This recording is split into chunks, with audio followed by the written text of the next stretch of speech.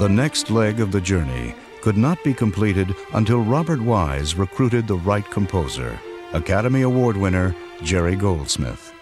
When we got to doing the score, and Jerry Goldsmith, who had done a marvelous score for me on Sampa, was, was going to do the score. It's so exciting you, you hear music come alive with an orchestra, a big orchestra on a scoring stage, and everybody gets thrilled and excited and all that.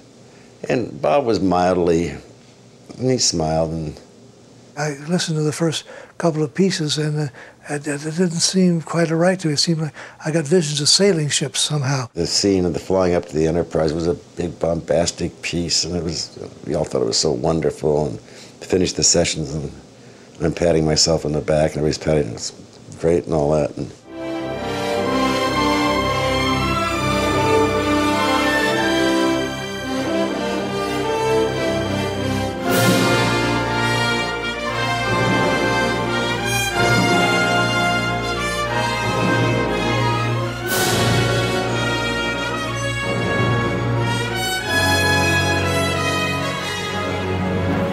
Bob grabbed me, pulled me out in the hallway. We walked down the hall. I said, Well, what do you think?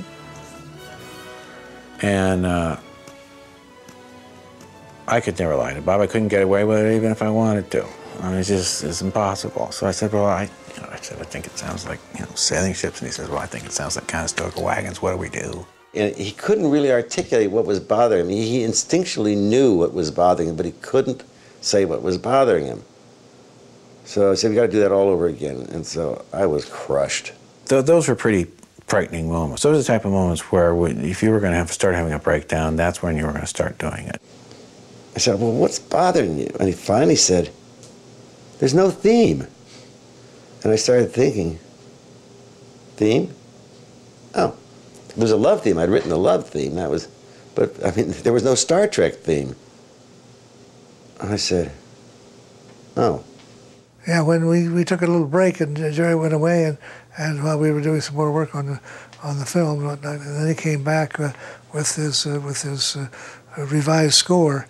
He'd come over to the house and he had a bad day of the special effects, and he says, "I've had a really bad day today." He says, "Nothing's working right. I hope you got good news for me." So I remember the head of the music department at Fox at Paramount was there then. And, we had rehearsed this, and we I had two pianos in the living room, and we, we played it for him on the two pianos.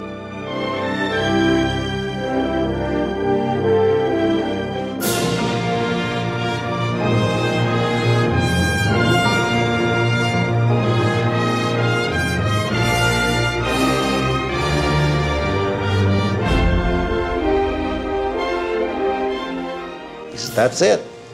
It was like, why didn't you come up with that in the first place?